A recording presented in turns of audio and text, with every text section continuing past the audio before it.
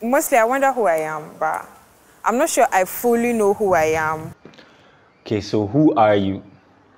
Give me a sense of yourself, you know. Tell me about the person you are.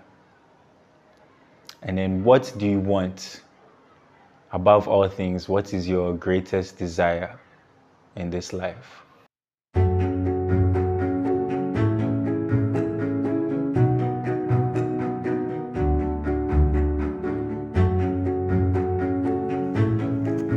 Most of the people that we came across in our, um, our interviews normally came with one common answer.